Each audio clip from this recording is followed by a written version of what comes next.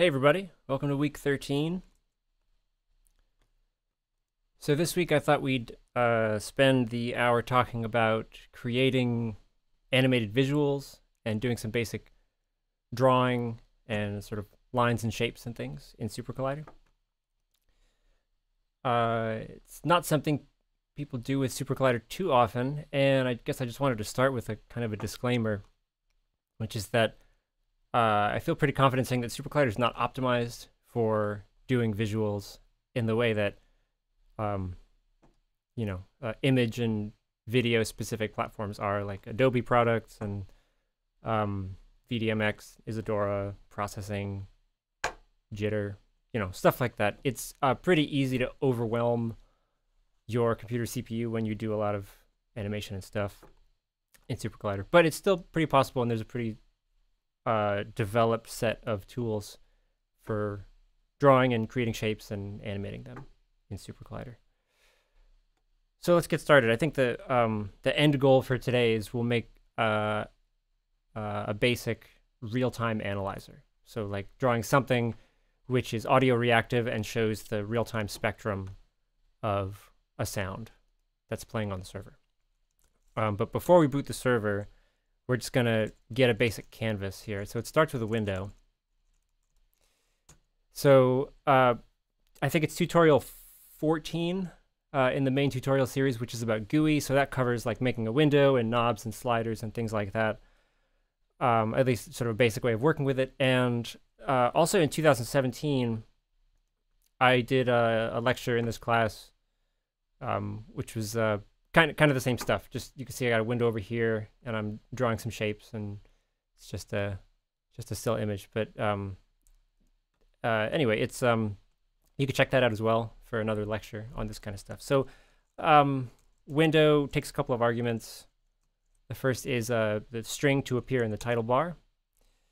Uh, and then uh, bounds, which is where on your screen this um, window is going to exist. And I planned ahead, and uh, so I've got a rect instance here. So it's uh, 1400 pixels from the left edge, 500 pixels from the bottom, and then it's 500 by 500.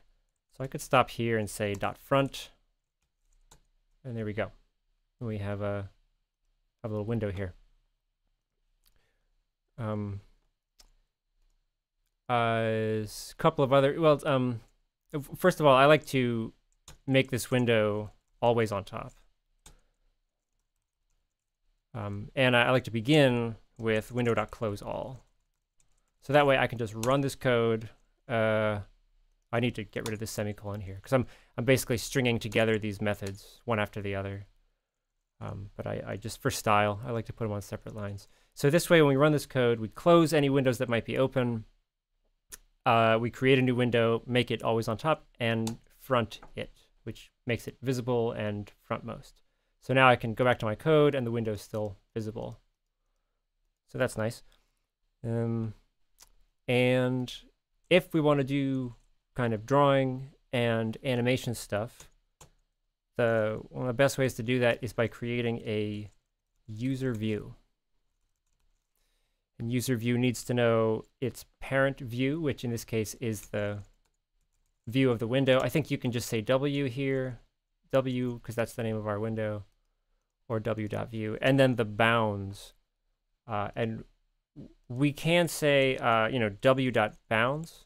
And that gives us the bounds of the window on the screen, but that's not really what we want.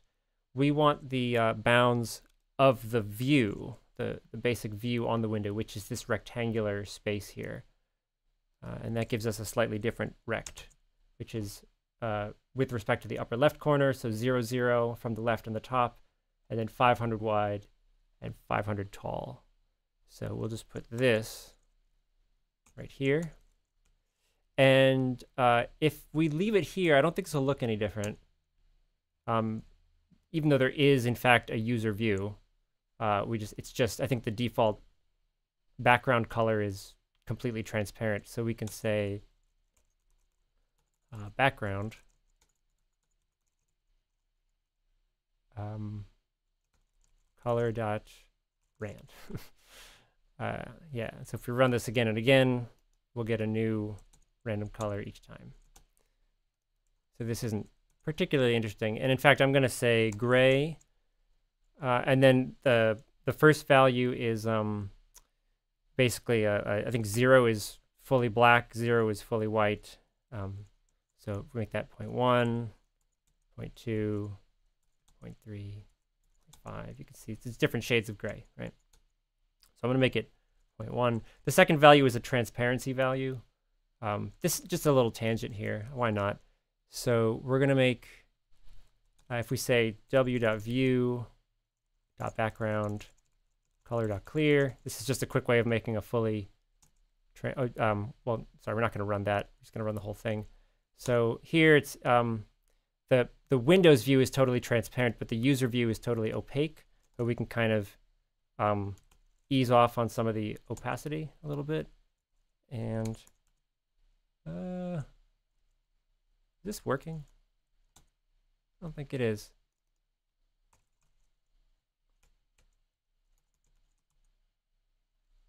View. Maybe it's w dot background.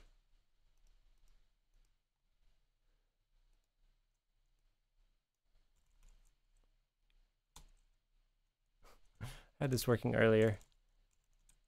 This is a kind of a pointless. There is a way. There is a way to make the window like see through. Um, but um, I didn't take notes of this because I thought it was not necessary. All right, but anyway, we, what we want is a user view, which is uh, dark, like this. And then we can draw on it. Uh, user view is a special kind of, uh, you know, view, basically, just a, a sort of a canvas style object, which responds to a few unique messages like um, uh, animate uh, and uh, frame rate and stuff. So uh, usually it begins by uh, setting the draw func of the user view to be some function.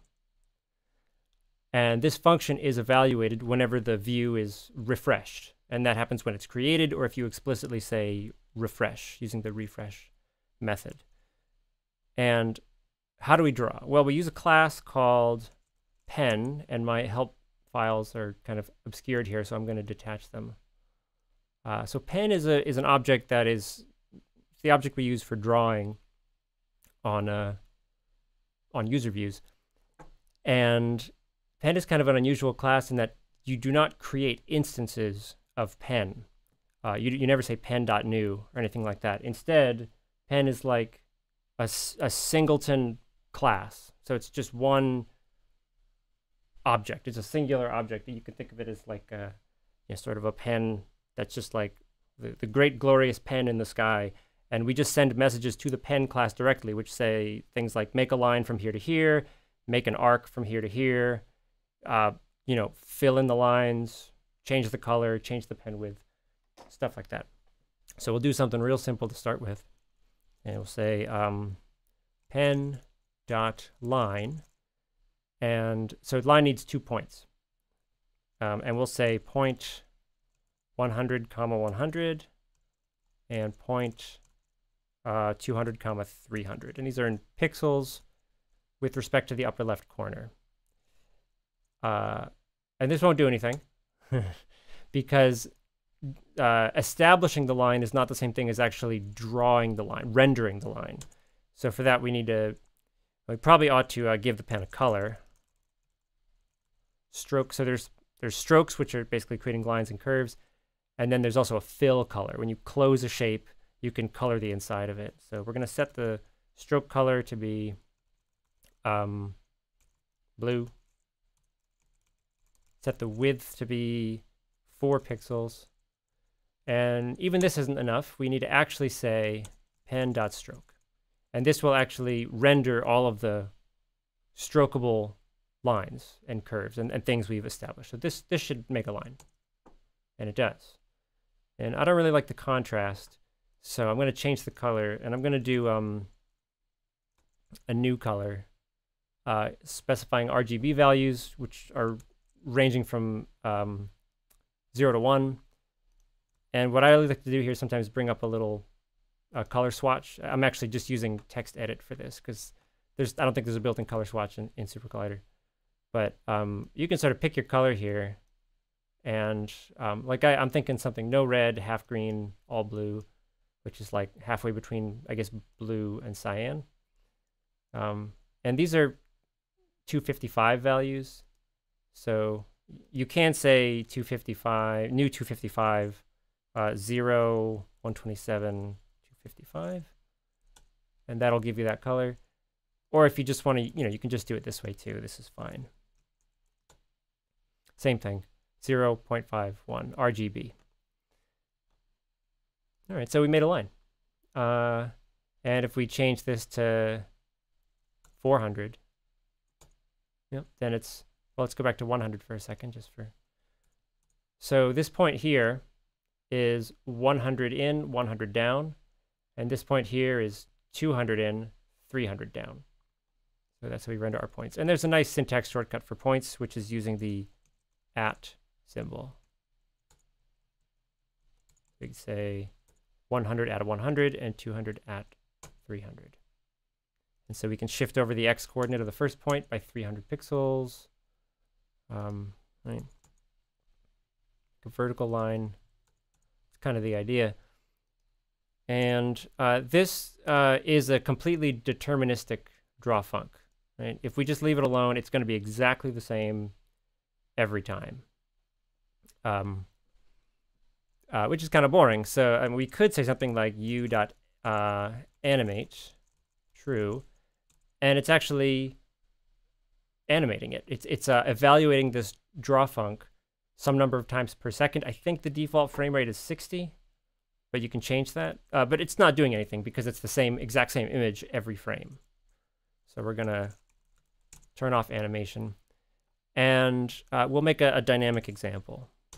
So instead of something which is completely deterministic, we're going to say, give me a random value between 100 and 400 for the x coordinate of the first point. And if we run this again and again and again, it picks a new value every time.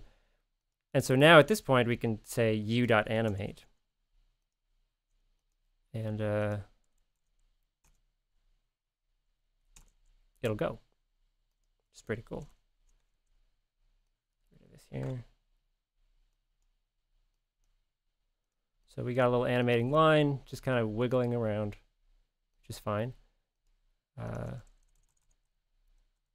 um, u dot uh, frame rate. You can slow it down 20 frames per second, 10 frames per second, 4 frames per second. Um, and there's a cap somewhere. I mean, your computer cannot refresh its screen you know a million times a second it's just so you can you can set it higher but at a certain point you're just not going to see any any difference whatsoever so i i usually just go to 30 which i feel like is a nice reasonable frame rate where things, you know, look pretty good, I guess. Um, okay.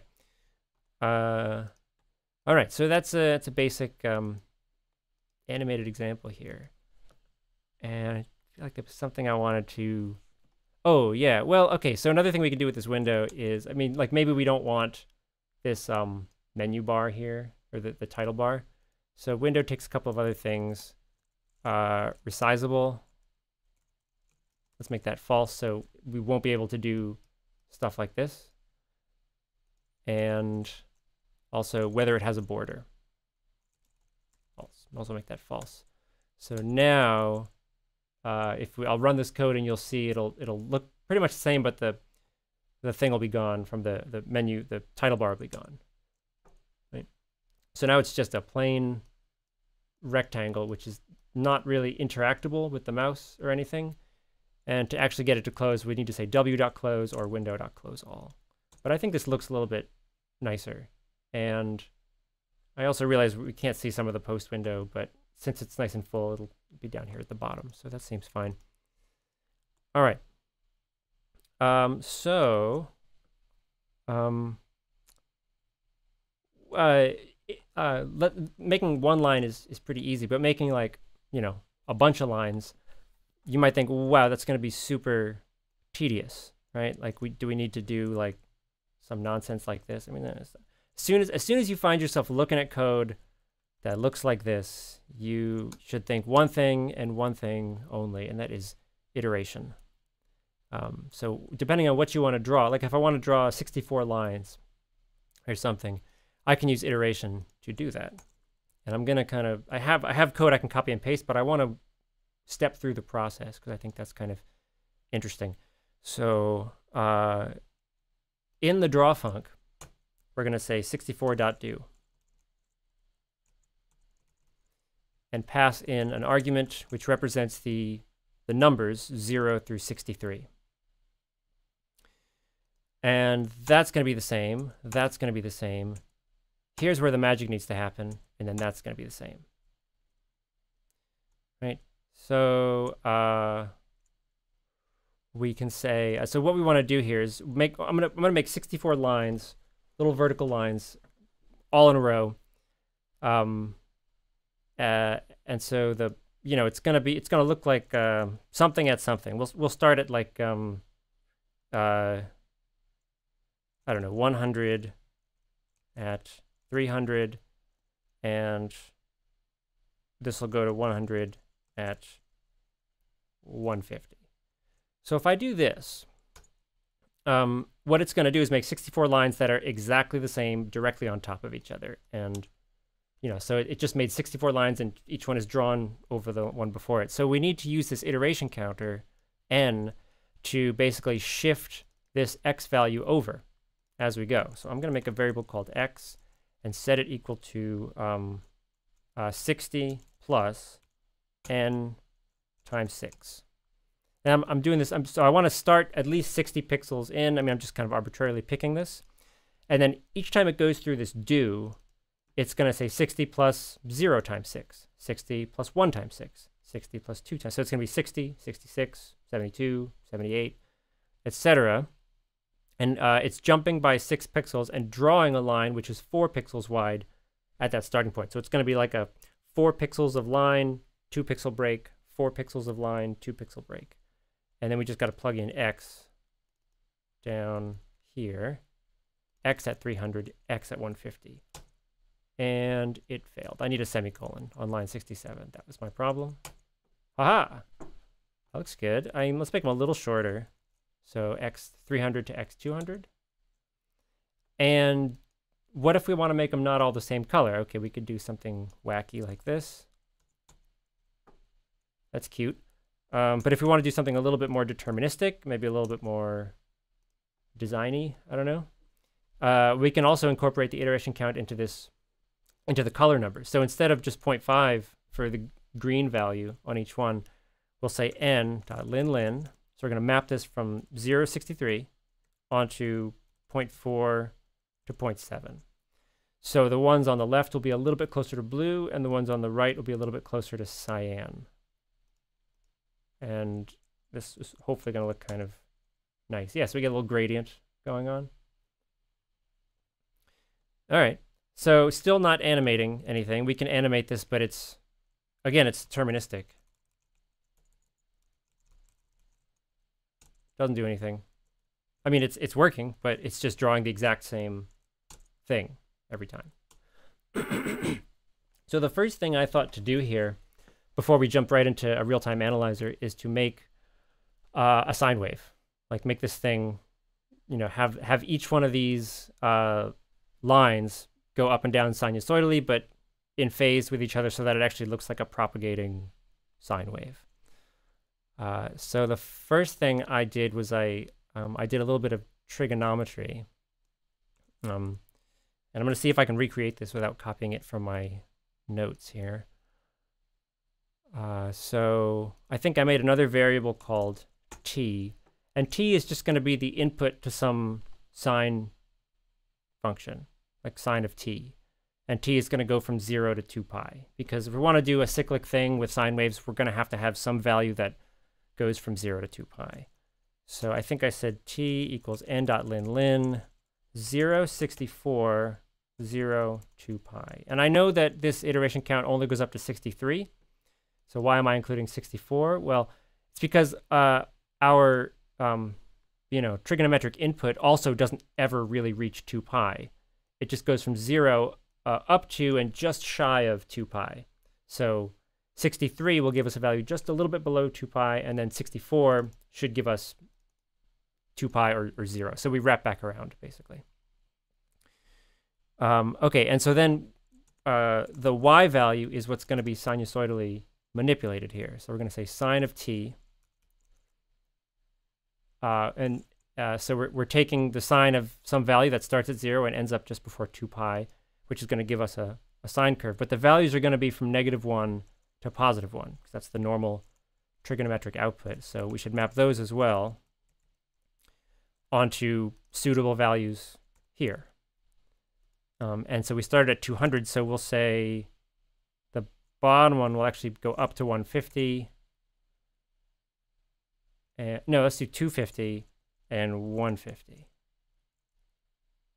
Right? So it's going to draw 64 lines.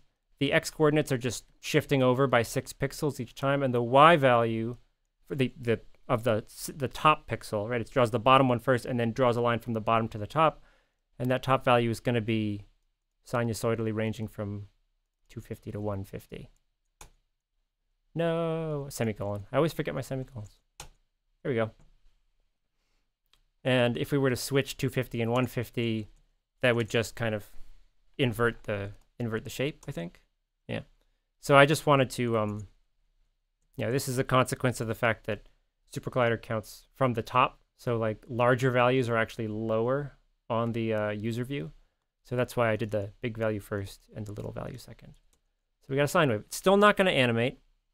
So there's one last step. We just need to, I mean, what we need is for this t value to undergo, uh, you know, a phase, a phase shift every time a frame goes by.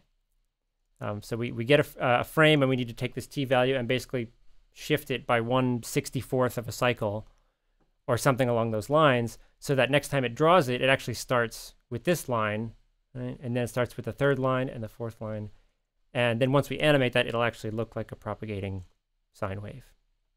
So, see if I can replicate this here. Uh, what we want is some global counter. Something to keep track of, you know, what frame we're on or how many how many frames have advanced. Uh, and I think what we want to do is just say t plus count. And then at the end, and this is this is subtle here, but we don't want to put that here because the counter then is going to get incremented uh, 64 times per frame, right? It gets incremented between the drawing of each line, um, which is not what we want. We want to draw all 64 lines and then increment the counter. And it and it's not going to be plus one. I don't think this is going to be quite right. Uh, like if we animate this now, it's it's really fast. I mean, it's working. That's cool. But it's like this is a relatively large amount of phase shift. It's supposed to be like um. I mean, we can increment it by whatever we want, you know. if you're trying to like sync it up with something, then you might have to do some clever math. But I think we can just say uh, add 1 over 64? It's probably 2 pi over 64 or something. Um, is this going to work? Yeah, that seems right. Yeah, okay. So got a little uh, animated sine wave here. And um, we can just turn it on and off, the animation. We can uh, slow it down.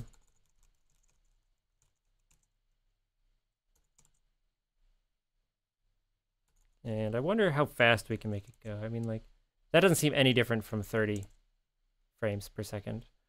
I think 30 is a good starting point here. So what I like, I like this. It looks kind of cool because you can look at it as a bunch of sine, you know, hills moving to the left. But if you, you can kind of focus on one individual bar, and then it kind of has a very kind of clear up and down motion to it. So it's it's nice to look at. All right. So we have a little um, animated sine wave going on here. And let's checking my notes here. All right, so I think we're just about ready. Uh, and, and at this point, you probably can imagine lots of variations on this. Like we're not doing anything with the bottom, with the y coordinate of the bottom points on each of these lines. Those are fixed at 300. So I, I don't know. I'm just going to try something here. Uh, this is going to look weird, I think. Ooh, it's like dripping. Ooh, cool. uh, fun. All right. So that's an idea. And it's just it's just kind of it, you can't really mess anything up. Um, so you can you know, just change any of these numbers and something will happen most likely. Um, uh, yeah, so it's okay. Let's I think we're let's let's move on to sound.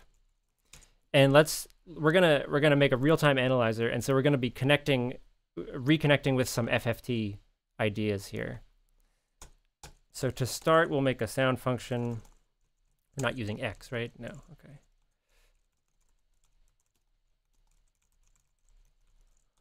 We'll make some pink noise. Uh,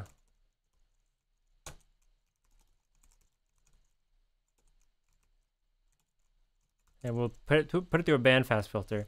I want to make something which is going to be very visibly, visually obvious. So we're going to um, sweep a sine OSC. We're going to start at the lowest part of the, so it starts at the bottom, going from, say, 200 to 18,000, real high. And the quality will be, I don't know, the reciprocal quality be 0.3 and we'll just 0.2 and we'll just amp it up a little bit because it's going to get quieter because we're removing so much of the energy from the bandpass filter.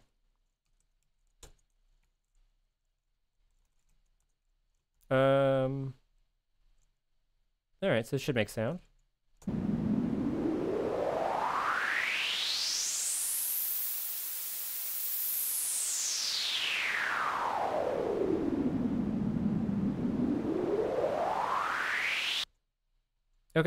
So we have some uh, some sound, and uh, what I want to do here's here's the idea I had. Yeah, we could like um, it would be tricky to do this in the time domain, sort of avoiding FFT stuff. If we wanted to actually render, you know, like make this look like a spectral real-time analyzer. Um, what we'd have to do is just like run this signal, you know, sig through like dozen, two dozen, three dozen bandpass filters, and then track the amplitude of each one. It would just get kind of messy. It's a lot of work. Uh, I think the FFT library will make this a little bit easier. So we're going to revisit some of those ideas. A little recap here. Um, so we need local buff. And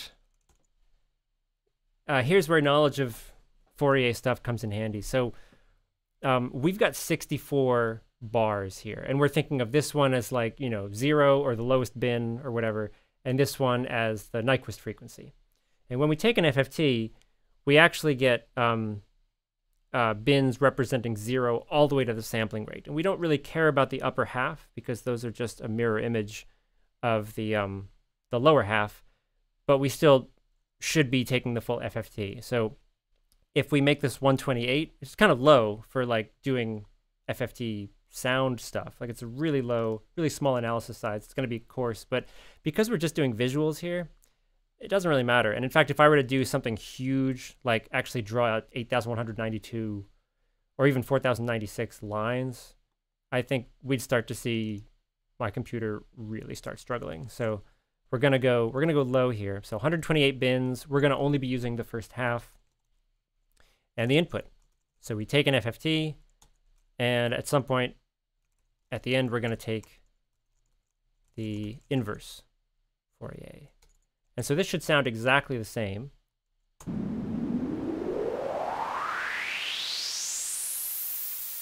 and it does. So in actually we don't even need we don't even need this um this window right now. Let's just focus on the sound. Let's close that, not think about it. Uh, okay, so I'm gonna use uh, PV collect. So PV collect, let's remember what that is. Uh, we're gonna collect over all 128 bins and what we have the option of messing with the magnitudes and phases to change the spectrum, but we don't actually want to do that. We just want to collect over uh, the bins so that we can capture that data and put it somewhere so that it can be used by the uh, user view. And I'm just trying to make sure I don't, actually, I'll just check my notes here, but yeah, PV collect, uh, like, do we say chain equals chain.pv collect? I think we do. Uh, so we're gonna we're gonna do all 128 uh, bins. Uh, mag, phase, bin, index. I think these are the arguments we pass into it. Not entirely sure how bin is different from index. They might be the same thing. Um, but uh, we're going to output mag phase. Um, what we're going to do inside of this PV collect is uh, out.kr, right? We're going to we're going to write these data to 128 control buses. Or actually we uh, well, we'll see. But um we're going to say index mag.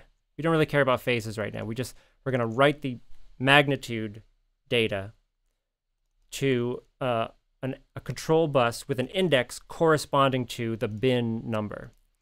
And um, and then PV collect also lets you say which bins would you specifically like to process. And I would only like to process 1 to 64 because the zeroth bin represents zero hertz. So it's basically checking for DC offset. And I know, you know, who cares? I don't want, I don't care about that. So we're going to start at bin one. And I believe, so we can just take sample rate divided by FFT frame size, and that gives us the fundamental frequency, um, so to speak, of the first bin. So I think that this first one's about 375 hertz. The next one will be twice that. The next one will be three times, uh, you know, three times, four times, etc., all the way up to the 64th bin, which should be the Nyquist frequency. Um, and this is it's good. This is good because it, it basically cuts the processing load in half uh, because we don't actually care about the upper half, so we're just going to do bins 1 through 64. Uh, okay. So yeah, we're not actually manipulating the data. We're just using this PV collect to write the data to 64 control buses. And I think it's only doing 64 because because these the bins outside of this range are not being processed it's not going to bother doing anything with them. So I think it's just 64 control buses. All right, so first of all, let's just make sure it plays. And now what I want to do is look at the control buses on the scope.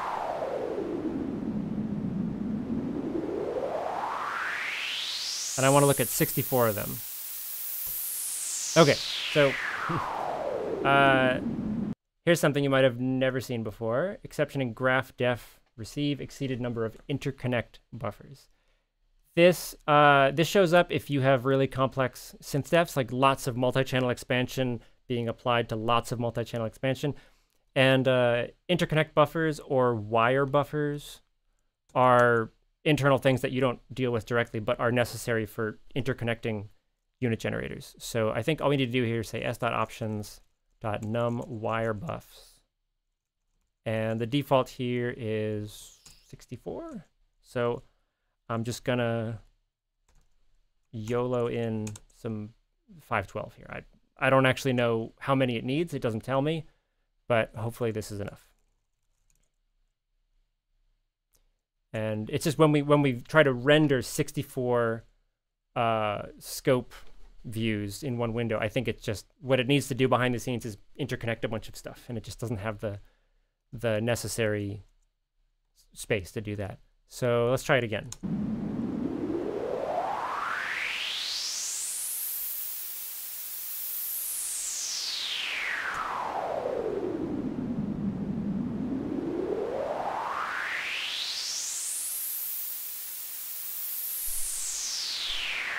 So cool, right? How cool is this?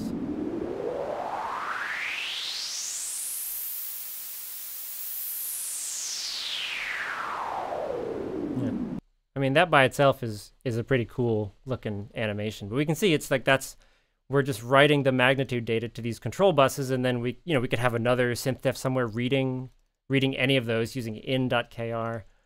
Um, and uh, so we're, what we're going to also do here is um, grab some buses on the language side.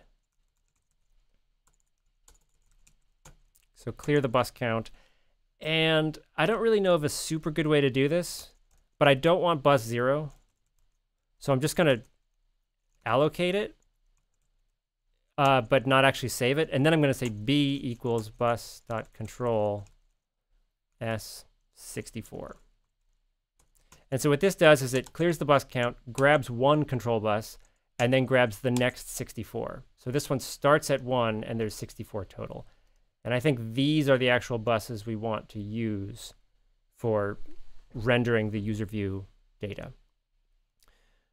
Uh, okay, so um, and, and, then now we can say something like, uh, actually, let's here's if we want to actually read the control data, like we can't read data from an audio bus easily in the language, but we can read data from control buses easily. So let me play this again and then stop it. Like that. And so the data is, you know, it was on the process, it was, it's somewhere around, I don't know, 2000 hertz or something. So we can just visually see there's data here. And if we say b dot get n synchronous, it gives us an array of the values on all 64 buses. Uh, and, and there's control buses are, are very handy. I, I really ought to do a tutorial on using them because you can just set values of control buses from the language without any sort of funny business. And so they're they're more more flexible, I think, than audio buses. So there's um yeah, get synchronous, get n synchronous for a block of buses. You can set synchronous. Um, so bus help file, worth reading at some point. It can really come in handy, I think. Okay, so we're, we're getting closer. We now have a means of just retrieving the values, the magnitude values from the FFT in real time from these 64 control buses. Um, uh, so now I think we're just about ready to modify our uh, user view code. So we'll take this, bring it down here, and all right, so we don't need any of this trigonometric stuff. So forget the counter. That's kind of useless at this point. And um, we don't need this. That's also trigonometric. We're done with our sine waves. Uh, so here's our iteration counter. Our X position for the lines is not going to change. We're still just drawing 64 lines starting at pixel 60 and all the way up to the end. So this is what needs to change here. So I think all we need to do here is b dot get n synchronous, right? And that gives us an array, right, of 64 values. So we need to say at n. And so that's going to be some pretty small value because if we just look at these values, it's like sub-pixel. You know, some of them are above 1, some of them are above 2, but most of them are like 0, 0.0, whatever, whatever. Um, so I'm going to arbitrarily multiply them by some number. I mean, it, we're just drawing here, so it's not like it's going to blow up in our ears. We're just manipulating pixels here, not not samples. Um, that can stay the same. That looks right. And yeah, let's let's try it. So we'll um, reset these buses, not that we need to. Start our sound. create this. It looks okay, I think. We just have to animate it now.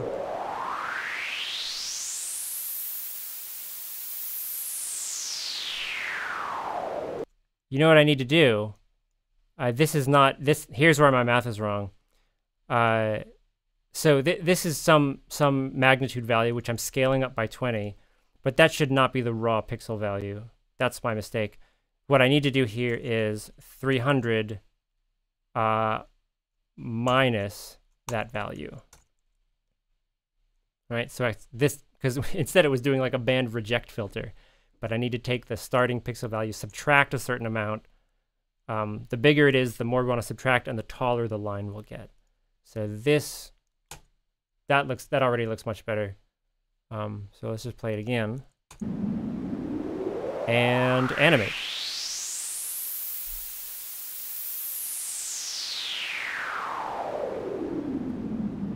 And what's cool about this is that we can change the draw func in real time. Like, that's totally fine. Let's just make these twice as tall, like this.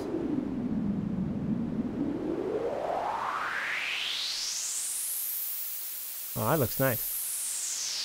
Pretty cool. Um, let's swap different color. Uh, actually, let's extract this.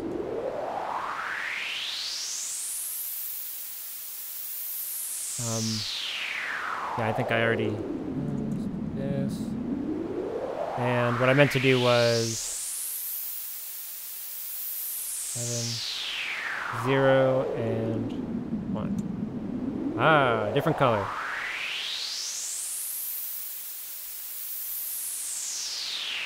I could even do uh, do this again. Colored out rand. So every frame, random color for every every one of them. Let's go back to what we had. Make it uh, thinner. taller again.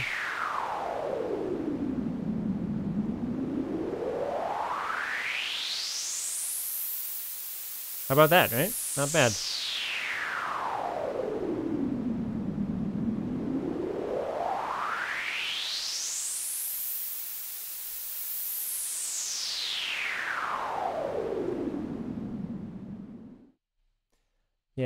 Not exactly sure why it doesn't fade out with the sound. I think it's just kind of a nuance of the FFT calculation and the Fourier coefficients that are being used. Like even if the sound is really quiet, it, you know, I don't even know.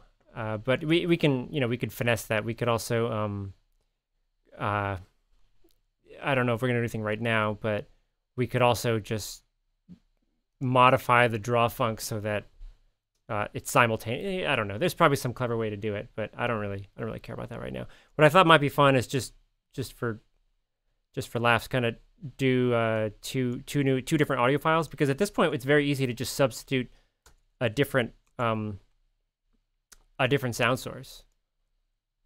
Um, you know, for our pink noise. I just the pink noise is nice because it very clearly shows that it's working. Um, so got a couple of sound files here. Uh, this one is uh, just a beat that I pulled from the Logic Pro loops uh, library. And I know it's only in one ear, you know, but uh, doesn't really matter. We can multi-channel expand that. This is me talking about delays. But that's okay. We can make it sound different by... So, um, let's make our new, make our window it's the control bus data is persistent, right? It just hangs out there because nothing's telling it to change. Uh, copy this.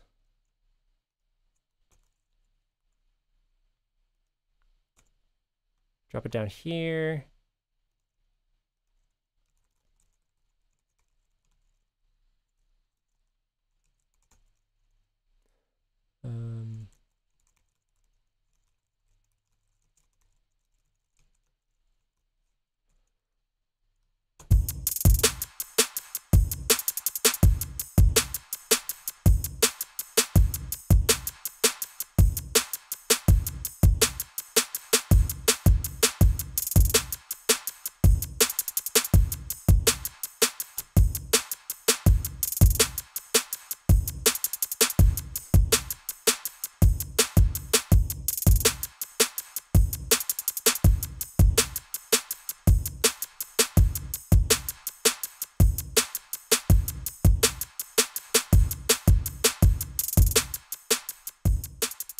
Maybe I should, I don't know, just do those in separate steps. And uh, just do me talking right here. And let's put this in here. But that's okay. We can make it sound different by adding an effect. Let's add a delay because that's a fairly standard and fun thing to do, especially with voice. So first let's declare a Yeah, so that's basically it. I mean, it's uh, something I've thought about doing for a while just to see how easy it would be to make a simple real-time analyzer. Uh, I, there's so so many methods uh, for user not not so much user view, but for pen in particular, which um, are just uh, it, it's one of the longer help files. It's really quite long, but if you search for um, well, just just to give you a taste here. So there's you know uh, line two. So the the pen always has a current position, and then you draw a line from the current position to a new point, and then the pen's current position moves along with it. You can just draw a line from between two arbitrary points, curve, uh, quadratic. I assume that means quadratic curve, arc. The arcs are just basically you know parts of a segment of a circle or an ellipse. Goes on and on and on and on. Um, uh, search for animation. There's a bunch of uh, code examples which you can study. These are a little bit different. I don't know when this was written. I assume quite a long time ago, but it's not even using a user view. It's just drawing directly on the the view of the window, which is totally allowed. It's just I don't think you have as much control over like frame rate and stuff like that, but you know, you can get pretty sophisticated. Uh, I also, just for fun, uh, here's another example. Um, I had a dream one night uh, about a rotating cube that was in SuperCollider. And then I woke up and I was like, I'm going to code that. And it looks like this. And so I'll I'll put this um, in the in the week lecture folder as well, so you can study this. But basically, I'm thinking about this as eight vertices, right? The top four, bottom four, and the draw func here basically just draws lines appropriately between vertices. And then I'm thinking of each of those eight vertices as rotating around a circle with um with a quarter cycle offset for each set of four. So like, you know, this uh it's just uh uh you know, it's like x plus pi, x plus pi over 2, x minus pi over 2, and then I'm just mapping the trigonometric values onto appropriate pixel values. And so it just, I didn't do anything with linear perspective because my brain started to hurt. Um, that seems like it might be more challenging. But, you know, it's a rotating cube. And I also made a little twisty version. So one, the top spins faster than the bottom. So it does a cool twisty thing. So this is maybe something some of you might be interested in studying as well. Um, so I would recommend that uh, if you want to get into all this animation stuff, you check out the examples in the pen help file in particular. I think the pen help file has lots of examples and each, each one of these methods has a little example with it. So you can really see all the things that are possible. And then um, user view also has um, uh, some animation examples or maybe it's examples.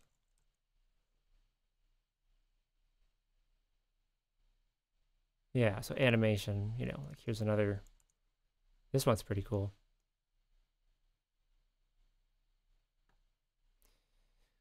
So yeah, um, I think that's going to be it. Uh, a lot of stuff you can do. I, I think you you know you'll find that with with time and patience and careful math, you can make some interesting stuff. I think you'll also find that it's like if you if you check your computer's like activity monitor or whatever monitors the CPU usage, it's it's pretty easy to have your you know your computer working like 60 70 80 90% capacity uh, screen refreshes can be pretty expensive i guess but you know it's it's something and it's kind of fun to mess around. I I use SuperCollider for making animations for classes and lectures and things like that, uh, and it's it can do a lot. So anyway, uh, so that's it for this week, and not too much in terms of concrete plans for uh, next week, which will be our final final lecture. But I'm probably going to reach out to some of my uh, Illinois students, um, you know, individually, and just see what you're working on for your final projects. And if there's anything you want to see for this semester's last lecture, um, you know, let me know, and we'll see what we can do. So, I guess that's it. Thanks for watching, and I'll see you next week.